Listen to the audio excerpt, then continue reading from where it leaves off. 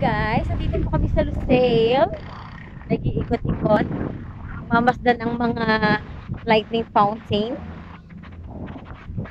Bakit ko dito? Why, why, why, why, why, why, why?